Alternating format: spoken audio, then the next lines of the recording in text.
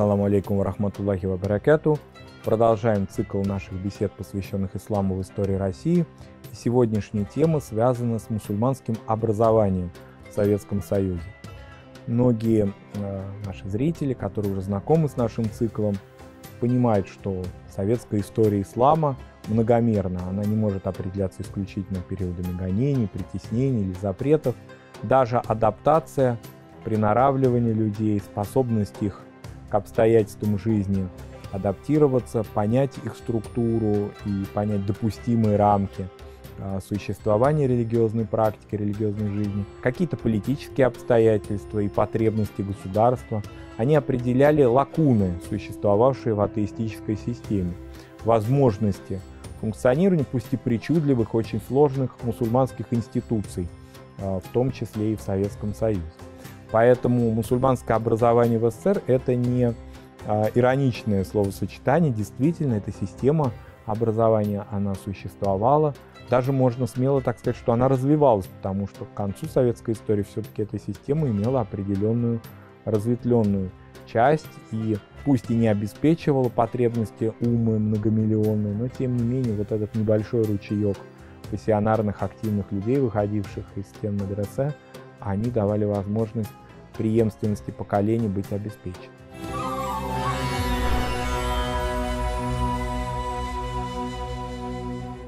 Здесь надо сказать, что мусульманское образование в Советском Союзе необходимо хронологически разделить на два этапа. Это этап довоенный и этап, возникший в 1944-1945 году, а, и вот так до конца советской истории существовавший. В довоенную эпоху, а точнее до конца 20-х даже годов, то есть уже не беря 30-е, все-таки эта система мусульманского образования, закрываясь, открываясь, а, в той или иной степени все-таки существовала. В нашей беседе, посвященной сложным, причудливым, драматичным отношениям советской, молодой советской власти с мусульманами в 20-е годы, мы говорили о том, что э, вот эти политические обстоятельства, необходимость укрепления советской власти, необходимость нахождения альянса, диалога, взаимоотношений с мусульманскими элитами на окраинах государства, создание национальных республик вынуждало руководителей советского государства и партий допускать то, что было неприемлемо, скажем, в положении православия и других религий. Другими словами, разрешать определенные рамки мусульманской жизни, функционирования мечети, мадресе и мектебов почти до самого конца 20-х годов. Этот период времени был а, достаточно активным. Во всяком случае, многие религиозные жители, э, деятели, пережившие репрессии, они получили образование уже после революции.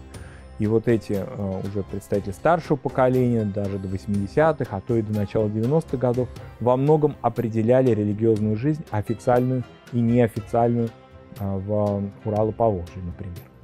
Но этому периоду пришел конец.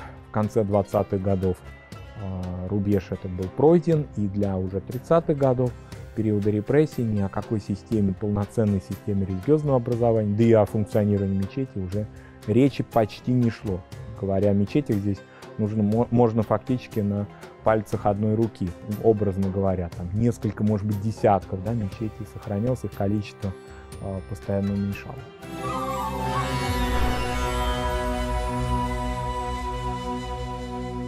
Поворот отношения к религии, не только к исламу, ко всем религиям советского руководства во время Великой Отечественной войны привел и к определенному ограниченному, но все-таки возрождению религиозного образования в Советском Союзе. Другой разговор, что оно было локализовано, то есть оно было определено в одной части э, Советского Союза, а именно в юрисдикции э, мощного, самого крупного, самого сильного духовного управления, духовного управления мусульман Средней Азии и Казахстана, базировавшегося в Ташкенте.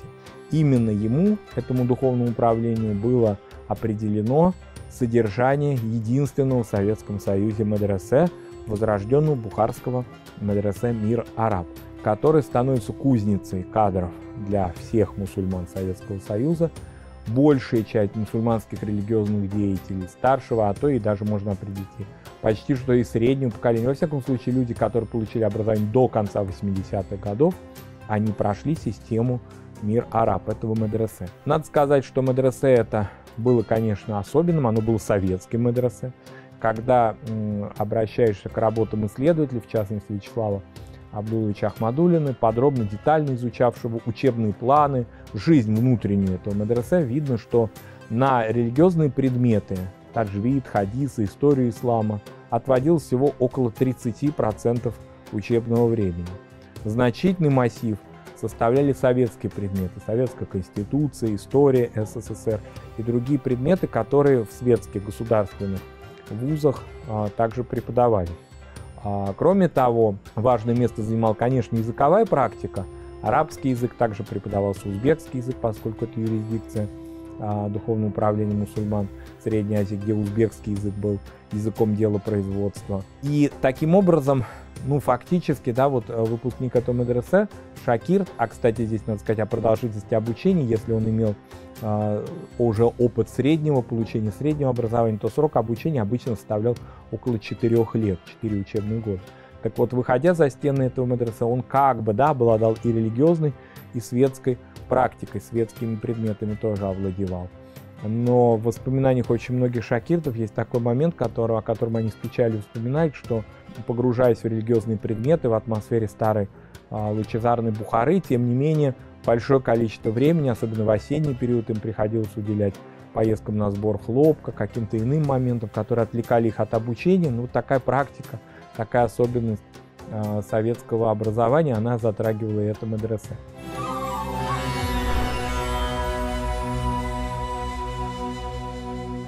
Обучение фактически финансировали те духовные управления, которые направляли своих шакиртов.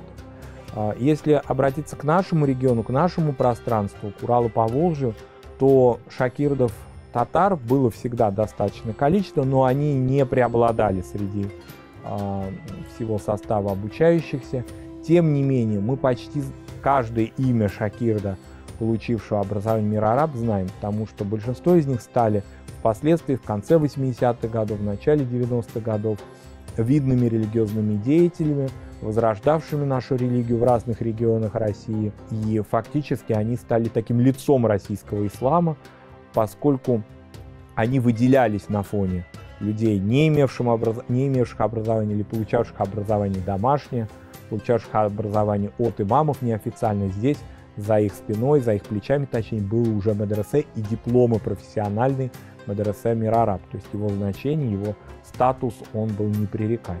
Для продолжения образования они могли, э, выпускники, поступить, в свою очередь, в учрежденный в 1971 году в том же Ташкенте, собственно говоря, из Бухары в Ташкент перебравшись, они могли получить образование в э, Исламском институте имени Аль-Бухари, который был тогда создан в Ташкентской мечети на Мозгох, и он ну, как бы, да, давал такое высшее религиозное образование. И многие получили два диплома Мадраса Мирараб и института Аль-Бухари. Кроме того, недолгий период времени, ну, около четырех лет, функционировала также медресе Барак Хана в Ташкенте, которая в 1961 году была ликвидирована. Вот и все. Вся эта система фактически сводилась к двум учебным заведениям, находившимся на территории Узбекской ССР и которым было предначертано сберегать религиозное образование и направлять своих выпускников в те немногочисленные мечети, которые существовали в Советском Союзе.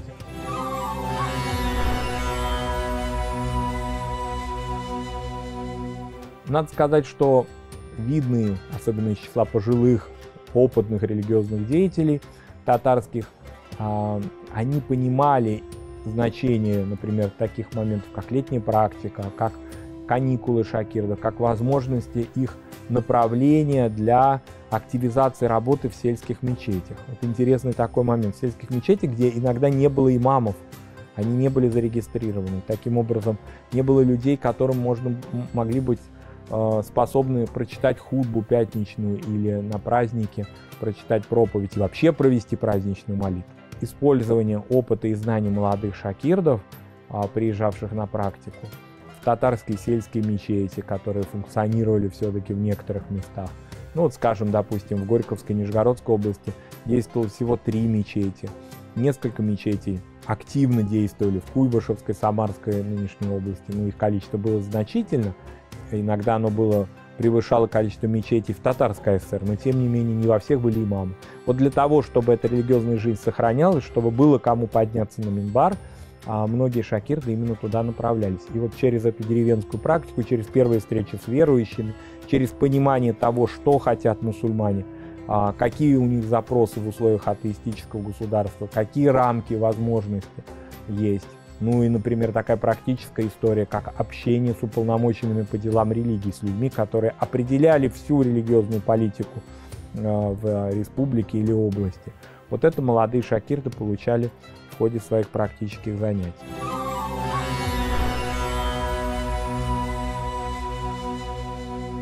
Надо сказать, что э, находясь в Бухаре или в Ташкенте, шакирды, конечно, приобретали определенный кругозор политически, э, идеологически, например, в тех же Бухаре или Самарканде проходили конференции, проходили встречи различные, они видели зарубежных мусульман. Ну и за один, один из самых таких важных моментов для советского ислама, важных конференций, которые были, среди них надо назвать большое собрание, прошедшее в 1974 году в Узбекистане, связанное с юбилеем имама Аль-Бухари, когда был реконструирован его мавзолей, когда большое количество людей, приезжавших из разных стран арабо-мусульманского мира, Советский Союз, Советский Узбекистан увидели и посетили, в том числе и Мадраса Мир Араб. И вот эти встречи, ну, если представить себе да, человека, молодого человека, который сделал очень сложный выбор, он отказался, скажем, от комсомольской какой-либо карьеры, он порвал определенные какие-то связи с людьми, с которыми он, может быть, был близок, в кругу которых он находился, а, закрыл для себя возможности светской карьеры и поступил в медресе. Это определенный выбор, который ну, компенсировался, что ли, вот этот сложный момент а, определенными же все-таки возможностями, которые медресе давала, в том числе и возможностями зарубежных поездок, контактов с зарубежными мусульманами и, наконец, возможности совершения хаджа вот этот опыт и получение, главное, профессионального образования, потому что Ишану Бабахану и его сыну, внуку, то есть тем людям, которые стояли во главе духовного управления мусульман Средней Азии и Казахстана, удалось найти и, что называется, просто реанимировать э, ту прослойку улемов, в том числе еще до революционной эпохи, которые в Туркестане преподавали, которые имели определенный опыт преподавания, которые были потом взяты на работу в Мадресе Мир Араб и становились, ну, через поколение, конечно, смена, да, их происходила, становились наставниками мусульман для всего Советского Союза.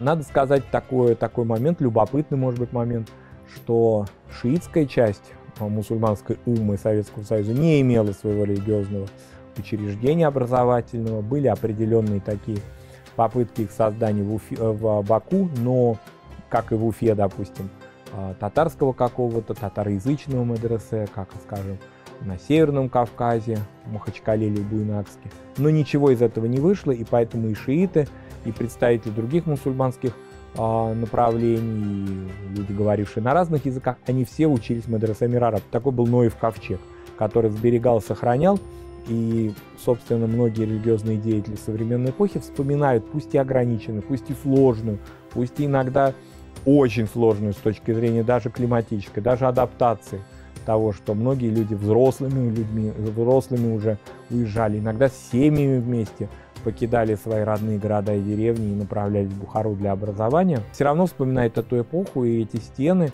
Мадресе как одни, один из лучших эпизодов, лучших э, фрагментов своей судьбы. Когда я говорю о семьях, ведь вот очень интересный момент, хотелось бы на нем заострить внимание, более подробно рассказать о судьбе такого московской мамы Резаудина Басырова, который в конце 40-х годов уже поступил в Медресе Мирараб. Он был фронтовиком, он вернулся с ранениями, ему было уже около 40 лет.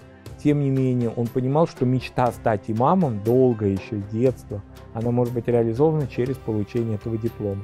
И поэтому, фактически оставив на время свою семью, не имея даже возможности материально им помогать а, интенсивно, он покидает Москву, отправляется в Бухару, получает образование и более того уже на а, еще будучи студентом, будучи шакирдом, он уже привлекается к преподаванию студентам первого, первого курса. И его судьба действительно реализовалась, Всевышний ему помогал, он был направлен дальше в Астрахань, а потом вернулся в Москву и стал вторым имам Хатыб Московской соборной мечети. Таких судеб у выпускников медресе, которые а, делали свой выбор, уходили в Бухару. Вот уйти в Бухару, поехать в Бухару, будто бы их предки в 19 веке, вот так они в 20 веке повторяли эту судьбу, она потом, в общем-то, у каждого из них а, реализовывалась и развивалась благодатно. Это был благодатный выбор, это был выбор бараката, который действительно привел, приводил их к религиозному достаточно очень успешному продвижению, продвижению знаний, поскольку пусть и в ограниченных условиях это была единственная возможность для того, чтобы свою мечту стать имамом реализовать. Надо сказать, что с перестроечных времен, а, если мы говорим о советской эпохе, уже с конца 80-х годов, возможности получения религиозного образования в других частях Советского Союза уже стали появляться.